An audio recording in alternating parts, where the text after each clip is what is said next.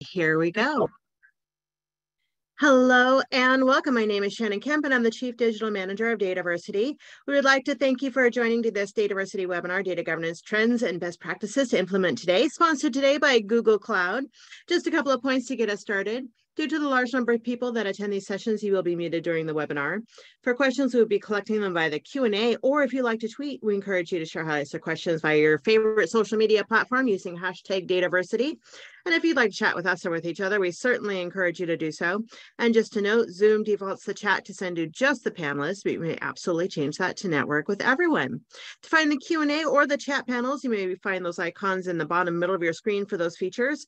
And as always, we will send a follow-up email within two business days containing links to the slides, the recording of the session, and additional information requested throughout the webinar. Now let me introduce to you our speakers for today, Sam Lugani and Renee Kolga. Sam is the product lead for confidential computing at Google. Sam started his professional career working as a software engineer at Cisco before venturing into product-centric roles at FireEye, uh, Synack, and later at Google. And Renee has over 15 years of cybersecurity experience in the areas of endpoint protection, insider threat, encryption, and vulnerability management. Renee is a member of the confidential computing product management team at Google Cloud. And prior to Google, he worked at Sim, uh, Symantec, Citrix, Altiris, and a number of security startups. And with that, I will give the floor to Sam and Renee to get today's webinar started. Hello and welcome. Hi, Renee. Hi, Sam. Hello, hello. Super excited to be here.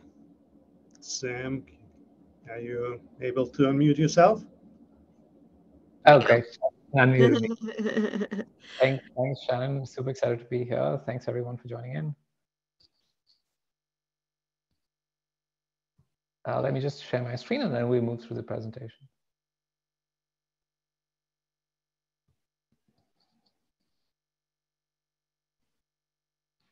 Looks good. Okay, great. Uh, well, hello everyone. Good morning and good evening. We are here today to talk about data protection trends and best practices. My name uh, is Sam Lugani, and again, I look after the confidential computing portfolio uh, for Google. And with me is my awesome colleague, Renee Kolga. Uh, Renee, if you want to spend a minute introducing yourself. Yeah, thank, thanks, Sam. Uh, yeah, great to be here. Renee Kolga, product manager on the confidential computing team with a focus on trusted execution environments. And uh, yeah, I think uh, we got a great introduction at the beginning as well. Thank you. Great, let's get started. Uh, we'll introduce uh, data governance and subsequently we've created some scenarios around uh, some of the top questions we get from customers and how to solve those. We'll cover access controls, encryption, secure collaboration, and close out with the incident response. Now, data governance is necessary to assure that data is safe, secure, and private, and also helps with compliance uh, both internally uh, and externally. It means uh, setting up data policies that apply to how data is gathered, how it's stored, how it's processed, and eventually how it's disposed of. Uh, data governance is, is really about deciding what kinds of data would be under governance and who can specifically access this data. Um, and then there is this aspect of complying with external standards set by industry associations or government agencies, or maybe some other stakeholders that you have. Now, strong data governance allows more personnel access to more data with the confidence that these personnel get access to the right data and the fact that the sharing of data or democratization of data does not negatively impact the organization.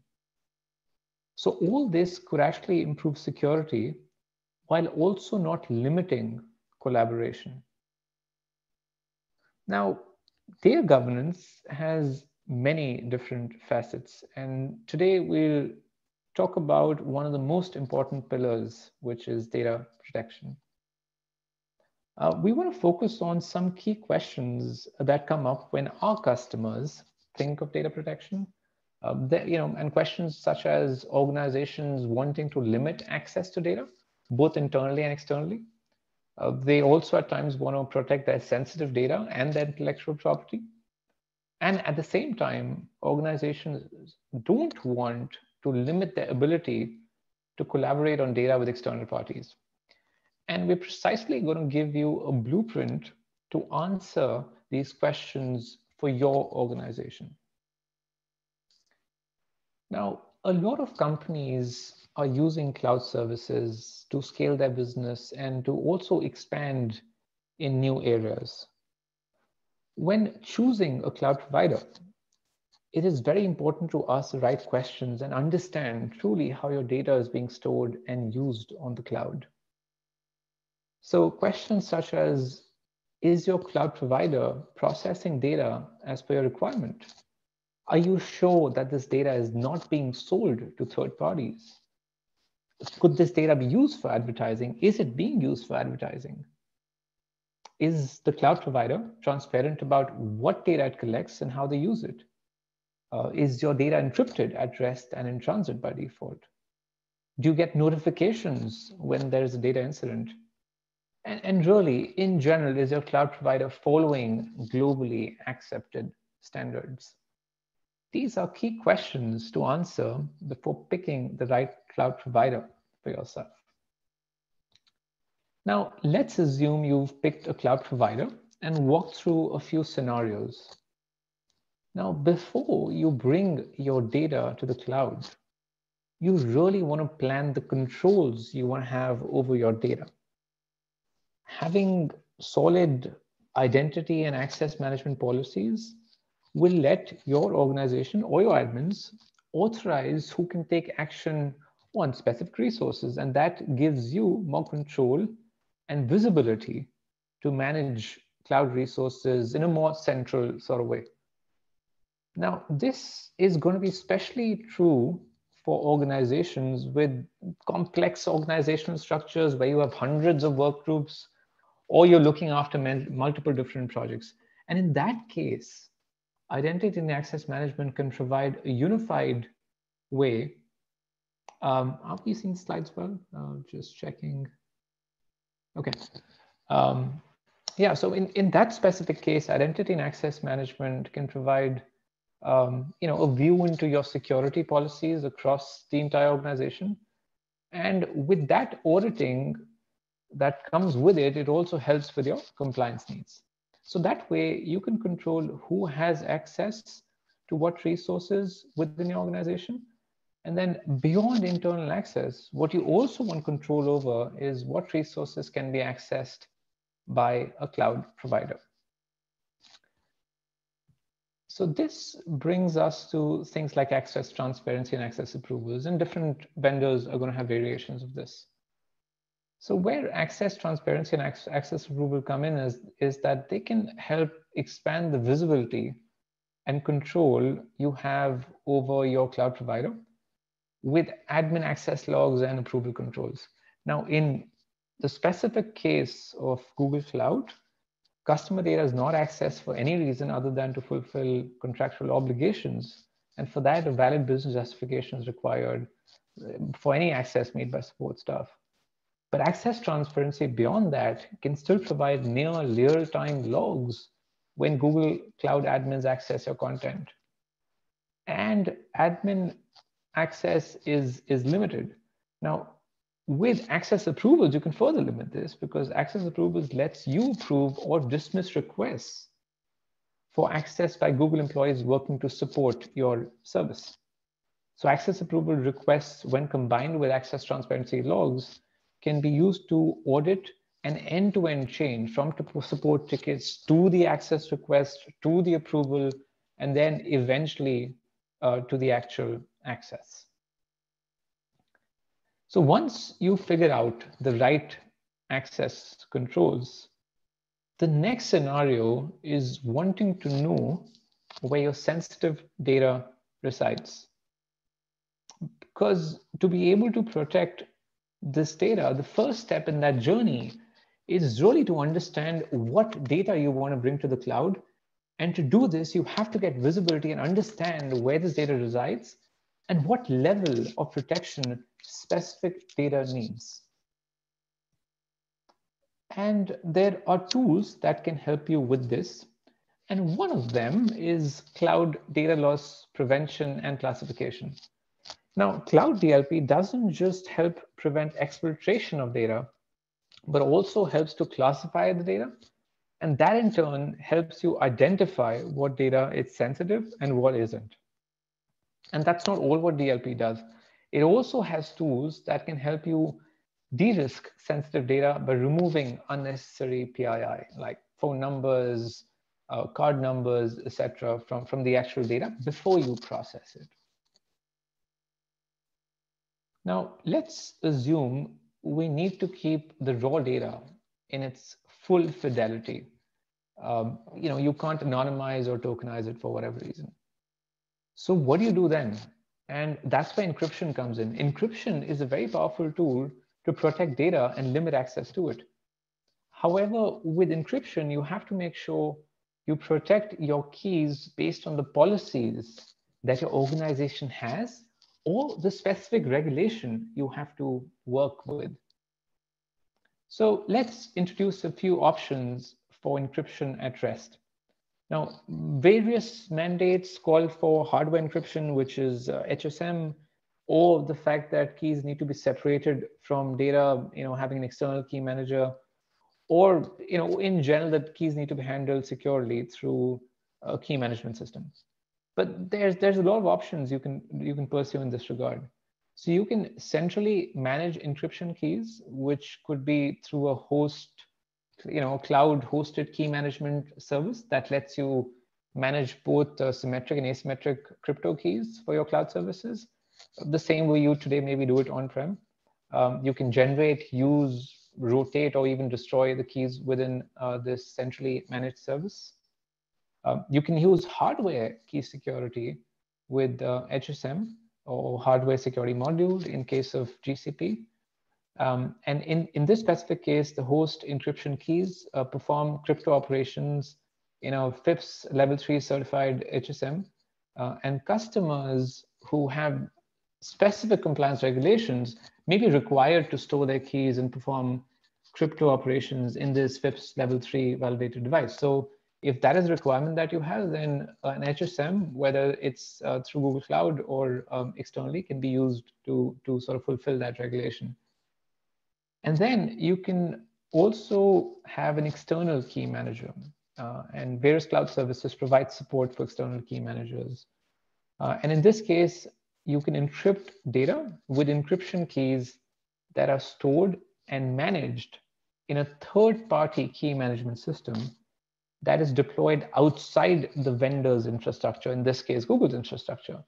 So uh, an external key manager really allows you to maintain this separation between your data at rest and your encryption keys while still leveraging the power of cloud for computing and analytics or you know what say whatever other stuff you want to do with it. Now so far you've now maybe mean maybe maybe able to figure out the fact that okay well here's how my data is classified here's how i need to store it and here's the key management uh, stuff i need to have uh, in place based on my internal regulations or my preference in terms of uh, security. So now that you've secured this data at rest you have to run your vms and use that data to get insights. So you need to process that data and so you need to make sure that your VMs are hardened against attacks. Um, and, and whether it's a container or a VM that you're running, you want to make sure that that is uh, trustworthy. So on Google Cloud, we have something called shielded VMs. Uh, it's enabled by default uh, on VMs and Kubernetes containers.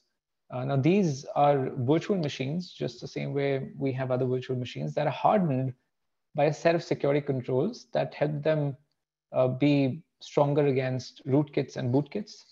Uh, they help protect against threats such as malicious project insiders or, or, or a malicious guest firmware or uh, kernel or user mode vulnerabilities. And it really makes sure that the workloads are trusted and verifiable. So in this case, shielded VMs can help protect your virtual machines, um, you know, as, as I said, against rootkits, and then really against kernel level malware um, because we have secure and measured boot capabilities uh, within it.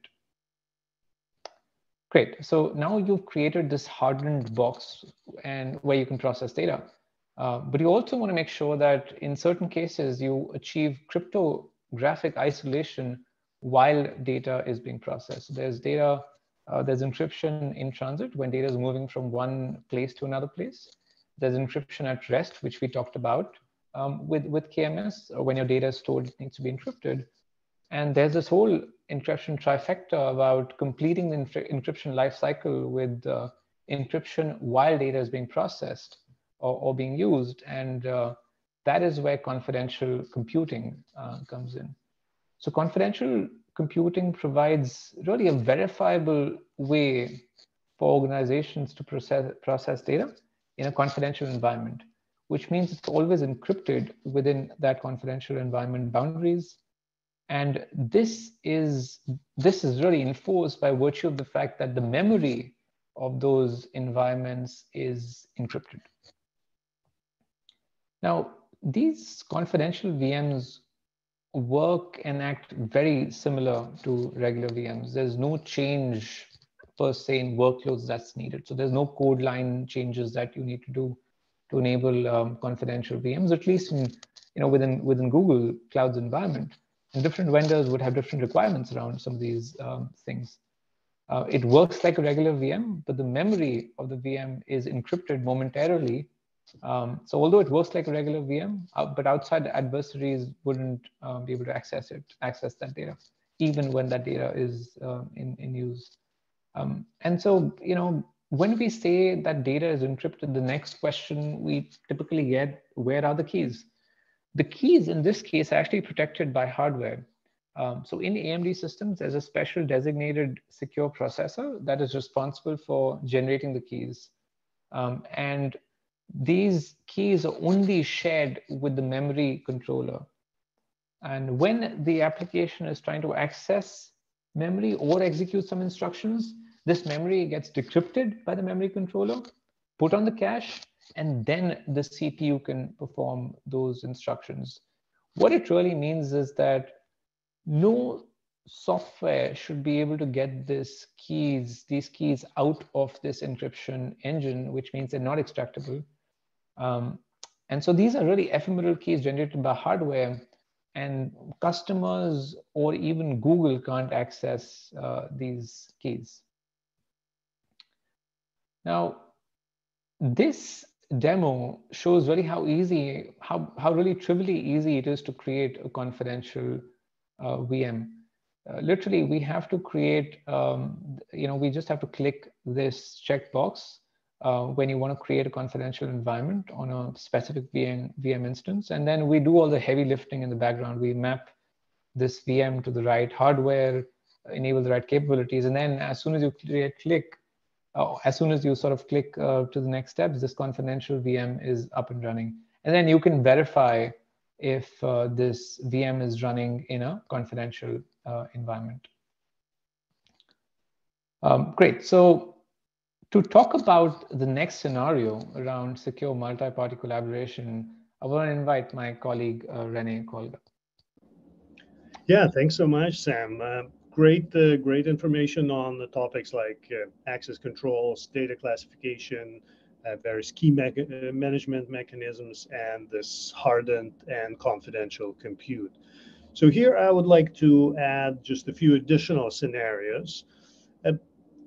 most of you know that with so much data out there these days, most of our organizations have sensitive data locked up and siloed, sitting there, due mostly due to its sensitivity. But how many amazing things we, we could have accomplished if we could unlock this data in, in a privacy preserving way, of course, and collaborate securely across teams or even external organizations, right? So let's move on to the next slide, Sam. Um, so, so here we could take confidential computing that, that Sam just uh, described earlier to the next level to enable this type of multi-party collaboration. And, and this would allow teams and organizations to unlock, to free the power of their data through uh, the secure collaboration without violating confidentiality. And this enables scenarios where you can gain this mutual value from aggregating sensitive data together while retaining full control over it, as well as ensuring that only the right workloads have uh, access to that data. Let's uh, look at the next uh, slide where I uh, show just a, just a basic example. Here we could have multiple banks collaborating to identify fraudsters or detect some type of money laundering activity. In this example, workload author may be one of the collaborating banks or an independent third party, and they create that, that, workload, whether a ML model or some query, to aggregate data and detect some suspicious activity. So with a with a trusted execution environment or TEE or a secure enclave or a confidential space, which is as we call it here at Google, these banks can share their sensitive customer data with this kind of a black box in the middle, but only and only if it's running on confidential computing, keeping memory encrypted, and running the right previously agreed upon workload that all collaborators can trust. And in the end, all collaborating banks uh, benefit uh, because often this type of uh, complex fraudulent activity becomes only visible when multiple organizations, in this, uh, uh, in this example, multiple financial institutions, pool their data together. Yeah, so now moving on to uh, to the demo, but before we get started, like I just described uh, a, a, banking fraud uh, detection, and, and that certainly could be powerful.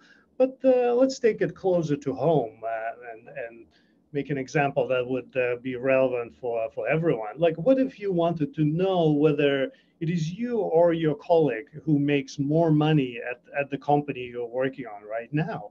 without revealing your actual salary. Wouldn't that be uh, would that be interesting, right? And this is exactly what you could do securely using this type of a confidential space. So let's uh, let's start with the demo. So here, imagine we have two colleagues. On the left, we have Alice, and on the right, we have her uh, her colleague Bob. And they agreed on some code, a query that would rank their salaries without revealing the actual numbers, right? The actual salary. Just the, the will tell you who makes more money.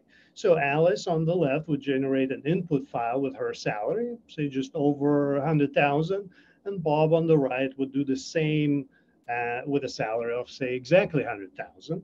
Next, they will encrypt those files.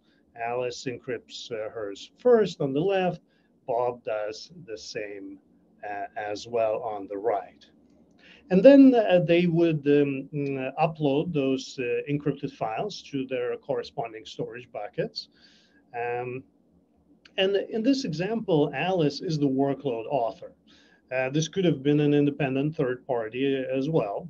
And Bob, of course, prior to collaborating, would audit this workload and be even able to reproduce it on his side to ensure its legitimacy. Alice already built and uploaded the, the Docker container with the workload that will rank their salaries, but not show the numbers. You can see it's SHA-256 hash here on the left. This is the same hash that Bob will include into the attribute conditions that define uh, um, uh, his policy. It defines under which conditions Bob is okay releasing a key to his encrypted salary data. In this example, his policy checks for a number of things, actually, including the type of the confidential computing technology required, like uh, AMD SEV or AMD SNP, version of the hardened OS where the workload uh, container will be running, the authorized user, and this image digest or hash of the workload itself. Alice also has a similar policy for her side, but she's the workload author. She doesn't need to include this image digest, this uh, SHA hash. Instead, she just includes the workload location and the artifact repository. In our demo, Bob plays the operator or the admin role and will run the workload that Alice built. And that could be another party as well. And admins can only start and stop the workload, but they can't access data in clear text or influence the workload in any way. So let's see, the workload is running. You can see at the bottom right, now it's complete. And Bob will read the output. And of course, this output is accessible to all collaborators, but not the operator or the admin. So Bob will read the, the output and let's see what it says. Oh, it looks like Alice makes more money. So it's time for for Bob to ask for for a raise from from their boss. But now let's imagine that um, Alice um, goes rogue or becomes malicious. And instead of just wanting to learn where she ranks uh, in salary among her colleagues, she wants to get their actual salaries, right? So she, as the creator of the workload, modifies the source code to include the actual salaries in the output file, and then rebuilds the Docker container and pushes it to a repository. As a reminder, Bob's policy includes the hash of this workload under the attribute conditions. So now Bob will rerun uh, the workload um, that Alice rebuilt and read the output. And and you'll see that uh, the output will have an error in it. Uh, and it there says the given credential is rejected uh, by the attribute condition, which means that Alice wasn't able to take advantage of uh, our of her colleague Bob uh, because uh, his policy included the hash of this previously agreed upon workload. And obviously when Alice modified it, the hash also changed. So this is just an example of how multiple parties um, who don't necessarily have to trust each other can share sensitive data and collaborate in this secure manner. So let's, uh, yeah. Uh, so hopefully this uh, demo you know, gave you a little bit of a flavor of what is possible when even the most sensitive data out there, your your salary, your PII, your PHI, etc., can uh, can be shared securely um, and uh, computed on among uh, uh, across multiple parties. So basically, in summary, um, multi-party data collaboration using these confidential spaces provide you an ability to collaborate without blind trust. Everything is measured and verified before you share your data providing you with these data integrity, data confidentiality, as well as code integrity guarantees. And you retain complete data ownership and you control how your data is used and which workloads are authorized to access it. And, and again, you don't need to trust the operator or the admin either. Okay, let's move to the next slide. So next topic, next scenario, right? You may have done everything in your power to secure your data in the cloud. But stuff can still happen. What if you need to address a cloud security incident? Let's go to the next slide. Um, and, and of course, we all know the cloud is, is here to stay, but unfortunately, so are the threats. And I, I like to say often that uh, the bad guys are just so good, and the human ingenuity for both good and evil is limitless.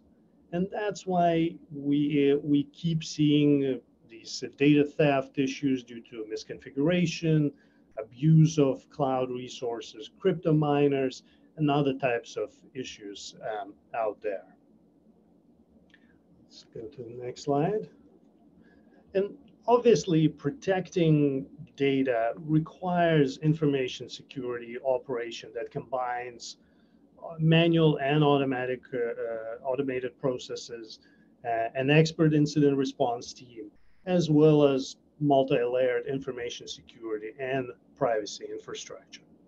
So, so at Google, we, we recommend uh, having the following steps in that incident response program.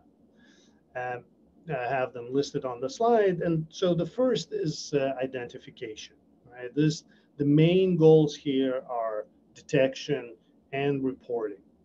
Those include both automated as well as manual processes. Next is coordination.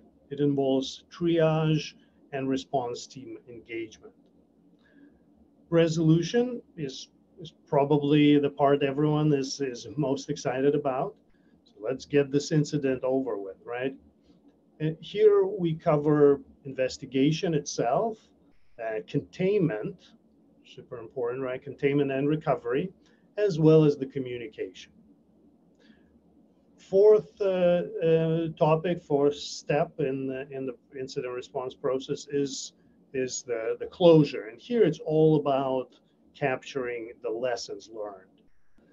And finally, we should not forget about uh, continuous improvement because if we haven't learned anything and, and improved our prevention, it's obviously a, a lost opportunity.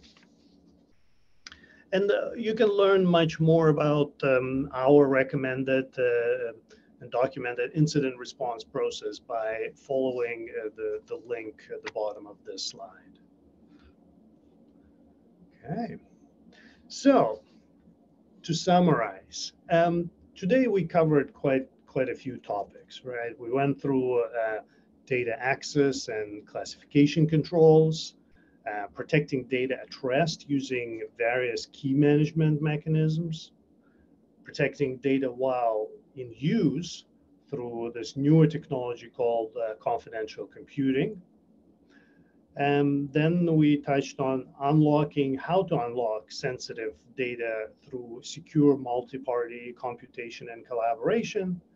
And finally, we touched on the incident response process.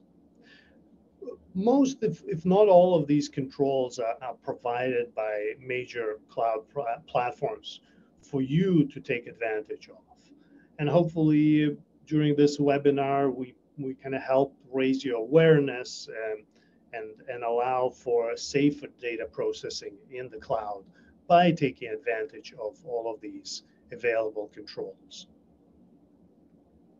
Sam, uh, anything uh, you would like to add here? Uh, no, great. Thanks for walking us through all these different uh, things, Rene. Maybe we can just um, open it up for questions. So Renee and Sam, thank you so much for this great presentation. If you have questions for them, feel free to submit them in the Q&A portion of your screen. And just to give everyone the answers to the most commonly asked questions, just a reminder, I will send a follow-up email by end of day Thursday for this webinar with links to the slides and links to the recording from today's session. Everyone's very quiet right now, so I'll give everyone a moment to type any questions you have into the Q&A portion. Um, so Sam and Renee, so when they um, when your customers implement Google Cloud, just to give everyone a moment here, you know, what's the big aha moment that they have when implementing it that they didn't think of that just makes their lives so much easier?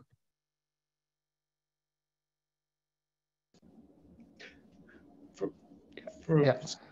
From my side, I, I, would just say the um, the, the simplicity. Um, um, you know, we, we, especially from the product management side, we always try to ensure that uh, the most common use cases are taken care of out of the box. So literally, just like uh, Sam was showing you how easy it is ena- to enable confidential computing, literally one checkbox or one button, that's what we really strive uh, to achieve. That it's uh, you know, most common scenarios are completely 100% pre-configured out of the box.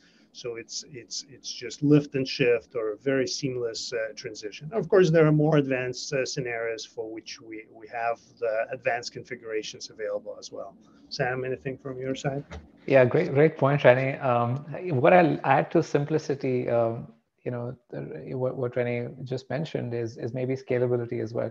You know, often um, things that are simple are really hard to scale, um, and things that sort of need to be scaled are quite complex. Um, I think when um, you know you move to the cloud, uh, especially to systems which are easy to use, um, the kind of scalability you get with cloud services, along with the simplicity, is something which is which is really unique uh, to cloud environments, and that's something which our customers appreciate uh, a lot. That's fantastic. So is the enablement of these controls responsibility of technical teams or is there an interface for information security uh, personnel?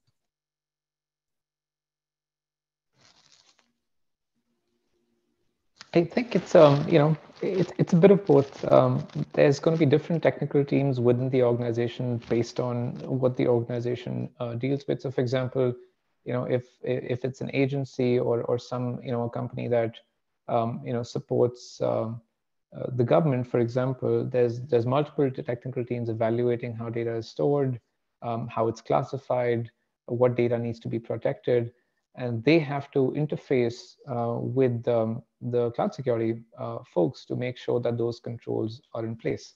Um, in smaller companies or companies sort of that are growing fast where they don't really have these established controls over a period of time, these new controls have to be established. And then in, you know, in that case, um, you know, these, these teams may look like the same team really um, or be part of the same team. And so there's, um, so there's less chance of uh, uh, some of this information being lost uh, in, in transit. Definitely makes sense. Uh, anything else that uh, you want to add there or give everyone a moment to add any additional questions?